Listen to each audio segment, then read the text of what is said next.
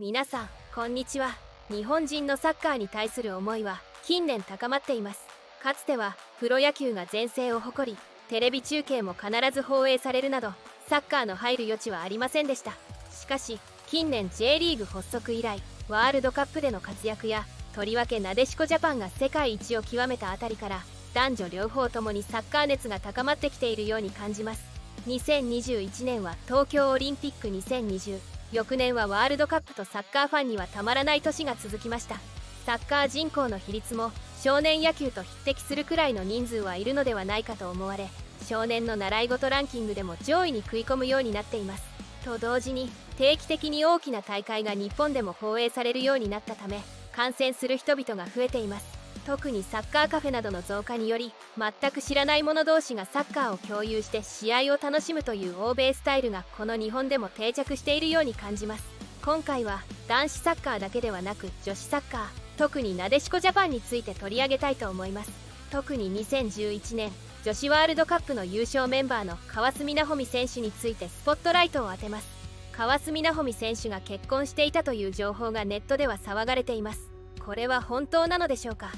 ポーツ選手は芸能人と異なりプライベートの情報はあまりニュースになりません。情報の真偽を確かめるべくいろいろと深掘りしてみました。川澄奈穂美さんは1985年9月23日生まれ神奈川県大和市の出身です。サッカーを始めたのは3歳年上の姉の影響で小学2年生の時に地元の林間 SC レモンズに入団しています。小学校6年生の時に女子サッカーの全国大会で日本一に輝きました。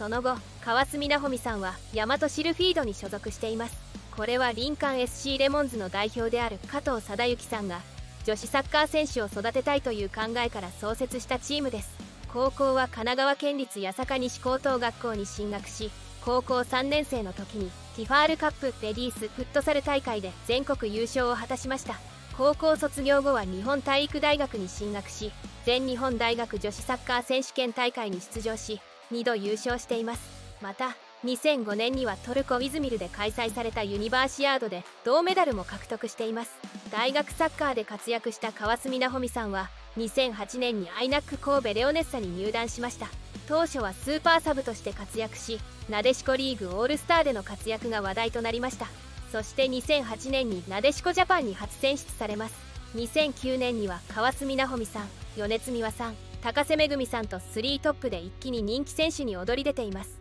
2011年からはチームのキャプテンに任命されておりチーム初のリーグ優勝を果たしました。同時にリーグ得点王のタイトルを獲得し最優秀選手賞やベストイレブンを獲得しています。同年のワールドカップでは準決勝で2得点するなど初優勝に貢献しました。2014年にアメリカのシアトルレイン FC に半年間の期限付き移籍をしています。こちらでも2度の週間 MVP に輝いておりチームのシーズン1位やリーグのベストイレブンに選出されています。川澄奈穂美さんは日本代表であるなでしこジャパンに2008年から選ばれています。しかし同年の北京オリンピックでは代表メンバーには選出されず2011年 FIFA ワールドカップドイツ大会で活躍しました。スウェーデン戦では約 30m のロングシュートを決めておりこれが FIFA Goal of the Day にも選出されています。結果的に世界大会初優勝を成し遂げこれは男女通じての日本初の出来事でした。その後も日本代表として多くの試合で活躍し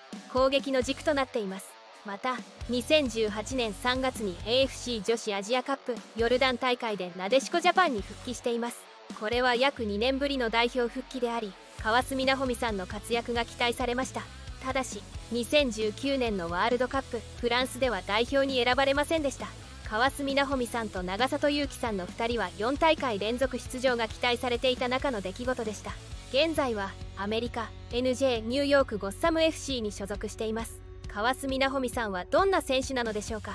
サッカー選手にはいろんなタイプの選手がおり適材適所で活躍しています。魔法使いのようなテクニックで相手を翻弄するタイプ長身を生かして高さで勝負するタイプ韋打点のようなスピードで相手を振り切るタイプなど様々です。川澄奈穂美選手は豊富な運動量とスピードが武器です。また鍛え抜かれたフィジカルと高い決定力や広い視野を生かし周りをアシストすることも得意と言われています。監督やチームにとってはいると嬉しいチームの軸になる選手です。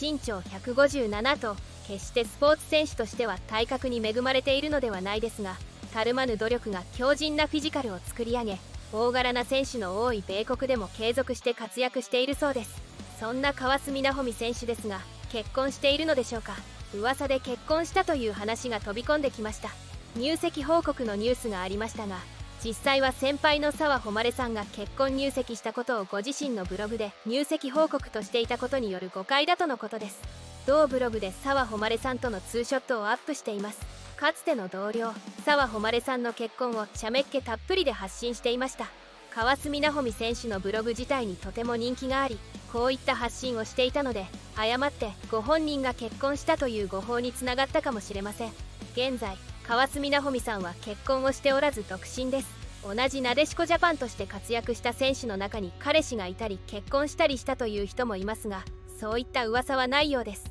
ただしその経歴上写真週刊誌などのネタにされたことがあるようでいろいろと彼氏の情報が存在していました。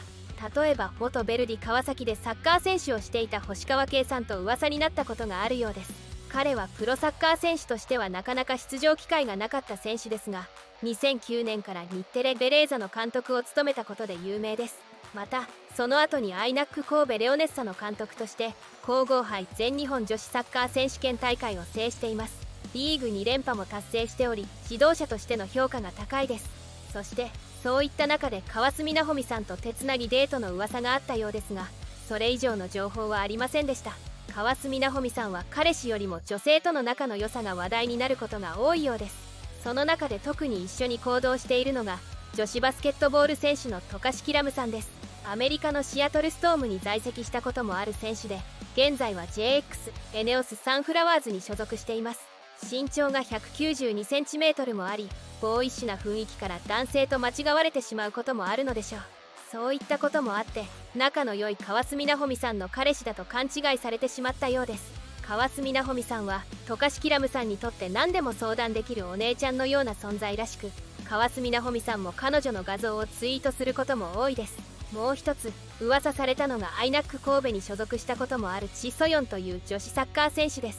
2人の仲が噂されたのは2人が手をつないで歩いている写真が週刊誌に掲載されたためでした。2人で手をつなぐだけでなくそのまま相手のポケットに手を入れるなどとても仲良く歩いていたそうです。女の子同士が手をつなぐのは珍しくありませんが人通りが多いところでは手を離してまた人が少なくなるとつなぎ直したなんて話もあります。同じアイナック神戸の田中明日菜さんと3人でシェアハウスをしていたこともありとても仲が良いのは間違いないでしょう。結果的にはなでしこジャパンが盛り上がっていた時代の週刊誌ネタとしていろんな彼氏や彼女の噂が広まっただけだったと言えます。川澄奈穂美選手は2022年現在が超可愛いと話題になっています。長く活躍してほしいと思うのですが現役引退はいつ今後の活動はという声が聞こえてきます。年齢的にもベテランの域に入っていますのでそういった噂が流れるのがごく自然なことと言えるでしょう。自身がアメリカ在住で新型コロナウイルスの影響が大きいという理由から辞退していますが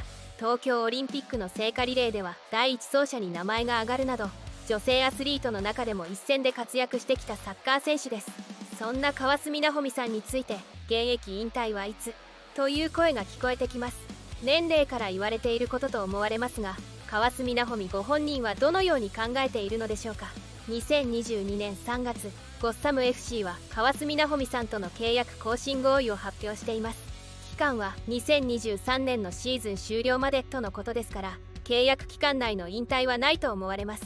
スコット・パーキンソン監督はナホは我々クラブにとって重要な存在。これまで一緒に働いてきた中で最もプロフェッショナルな選手であり高いレベルを持っているとベタ褒めです。スタッフの間はナホのようになれという言葉があると言いますから海外のチームでも存在感を発揮していることが分かります。